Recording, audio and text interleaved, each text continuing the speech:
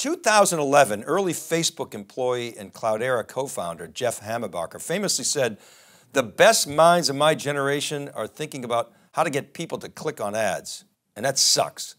Let's face it, more than a decade later, organizations continue to be frustrated with how difficult it is to get value from data and build a truly agile, data-driven enterprise. What does that even mean, you ask? Well, it means that everyone in the organization has the data they need when they need it in a context that's relevant to advance the mission of an organization.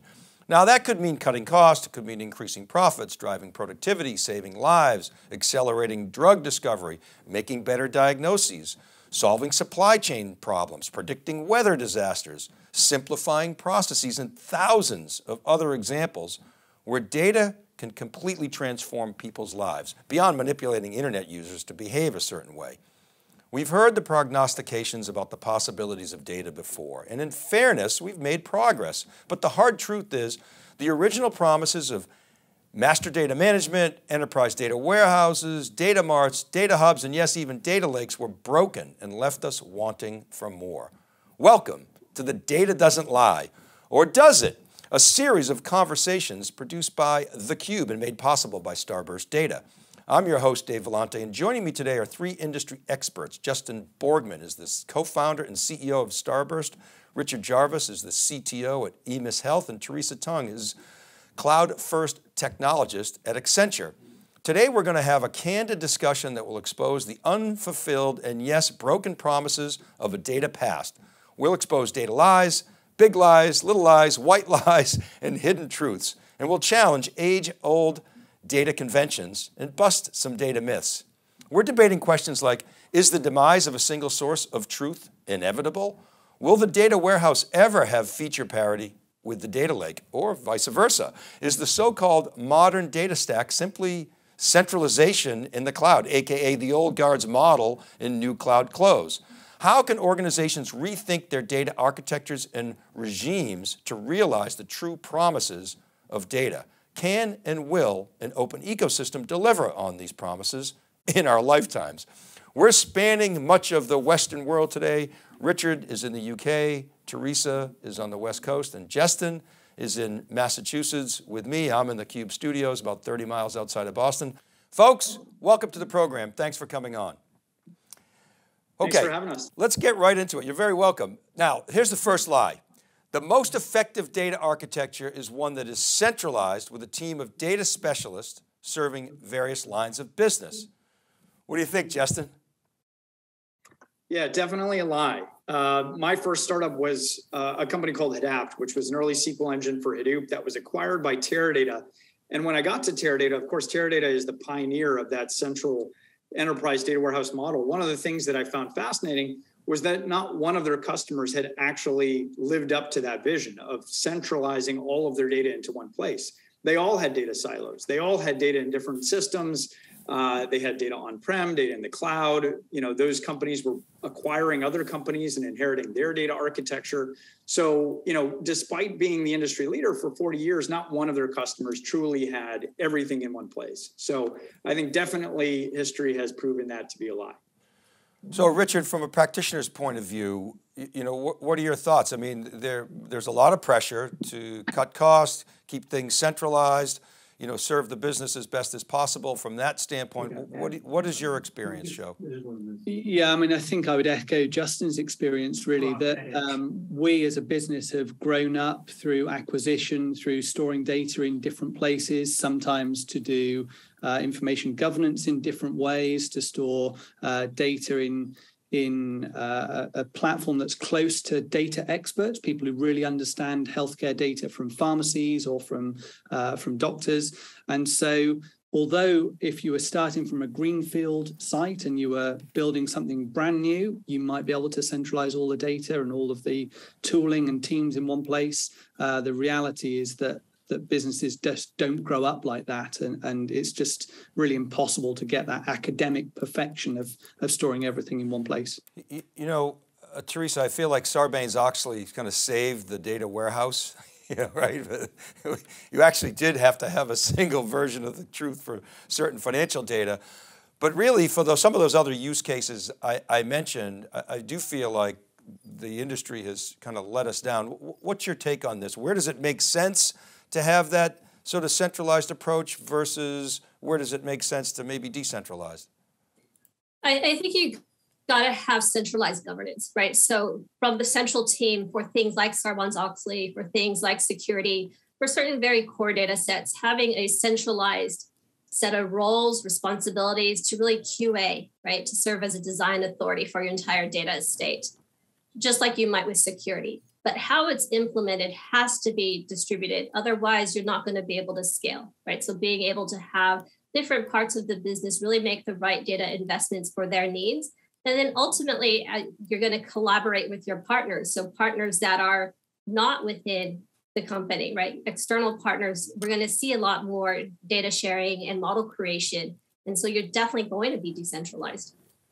So, you know, Justin, you guys last, geez, I think it was about a year ago, had a session on, on data mesh. It was a great program. You invited Zhamak Dehghani in. Of course, she's the creator of the data mesh. And her, one of her fundamental premises is that you've got this hyper specialized team that you've got to go through if you want anything. Um, but at the same time, these, these individuals actually become a bottleneck, even though they're the, some of the most talented people in the organization. So I guess question for you, Richard, how do you deal with that? Do you, do you organize so that there are a few sort of rock stars that, that you know, build cubes and the, and the like, and, and, and, or have you had any success in sort of decentralizing with you know your your constituencies that data model yeah so so we absolutely have got rock star data scientists and data um, guardians if you like people who understand what it means uh, to use this data, particularly as uh, the data that we use at EMIS is very private. It's healthcare information, and some of the, the rules and regulations around using the data are very complex and, and strict. So we have to have people who understand the usage of the data, then people who understand how to build models, how to process the data effectively. And you can think of them like consultants to the wider business because a pharmacist might not understand how to structure a SQL query, but they do understand how they want to process medication information to improve patient lives. And so that becomes a, a consulting type experience from uh, a, a, set of rock stars to help a, a more decentralized business who needs to, to understand the data and to generate some valuable output. Justin, what do you say to a, to a customer or prospect that says, look, Justin, I'm gonna, I got a centralized team, and that's the most cost-effective way to serve the business. Otherwise, I got, I got duplication. What do you say to that? Well, I, I would argue it's probably not the most cost effective. And, and the reason being really twofold. I think, first of all, when you are deploying a enterprise data warehouse model, the, the data warehouse itself is very expensive, generally speaking. And so uh, you're putting all of your most valuable data in the hands of one vendor who now has tremendous leverage over you, you know, for many, many years to come. Uh, I think that's the story of Oracle or Teradata or other proprietary database systems. Um, but the other aspect, I think, is that um, the reality is those central data warehouse teams, as, as much as they are experts in the technology, they don't necessarily understand the data itself. And this is one of the core tenets of data mesh that, that Zhamak writes about, is this idea of the domain owners actually know the data the best. And so by you know not only acknowledging that data is generally decentralized, and to your earlier point about Sarbanes-Oxley maybe saving the data warehouse, I would argue maybe GDPR and data sovereignty will destroy it because data has to be decentralized for, for those laws um, to be compliant. Uh, but I think the reality is uh, you know, the data mesh model basically says data is decentralized and we're going to turn that into an asset rather than a liability. And we're going to turn that into an asset by empowering the people that know the data the best to participate in the process of, you know, curating and creating data products for, for consumption. So I think when you think about it that way, you're going to get higher quality data and faster time to insight, which is ultimately going to drive more revenue for your business uh, and reduce costs. So I think that, that's the way I see the two the two models comparing and con- contrasting. So, do you think the demise of the data warehouse is inevitable? I mean, I mean, you know, Teresa, you work with a lot of clients. They're not just going to rip and replace their existing infrastructure. Maybe they're going to build on top of it. But what does that mean? Does that mean the EDW just becomes, you know, less and less valuable over time, or it's maybe just isolated to specific use cases? What's your take on that?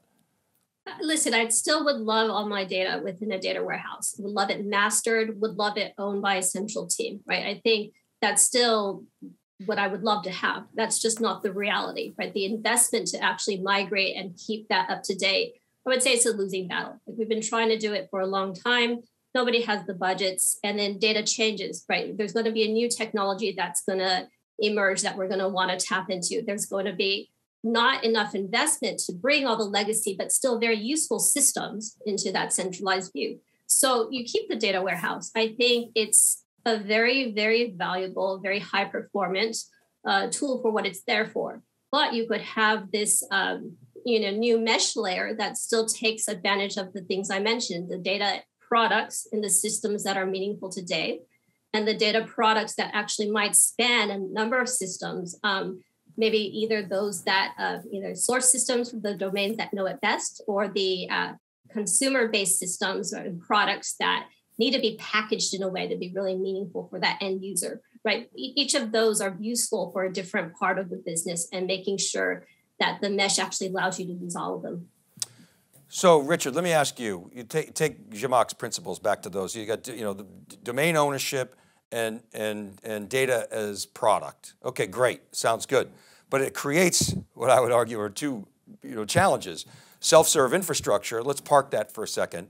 And then in your industry, one of the high, most regulated, most sensitive, computational governance. How do you automate and ensure federated governance in that mesh model that Teresa was just talking about?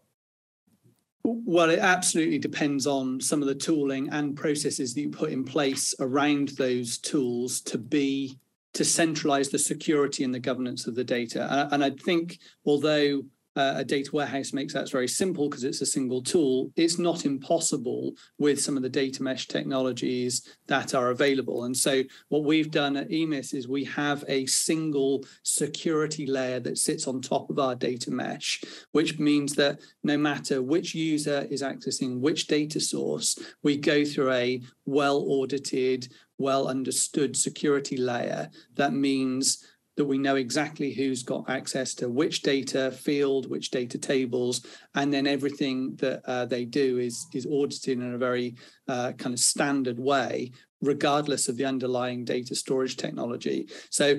Uh, for me, although storing the data in one place might not be possible, understanding where your source of truth is and securing that in a common way is still a valuable approach and you can do it without having to bring all that data into a single bucket uh, so that it's all in one place and and so having done that and investing quite heavily in making that possible has paid dividends in terms of giving wider access to the platform and ensuring that only data that's available under GDPR and other regulations is being used by by the data users. Yeah, so Justin, I mean, democrat, we always talk about data democratization and, uh, you know, up until recently, they really haven't been line of sight as to how to get there. But do you have anything to add to this? Because you're essentially taking, you know, doing analytic queries and with data that's all dispersed all over. The, how are you seeing your customers handle this, this challenge?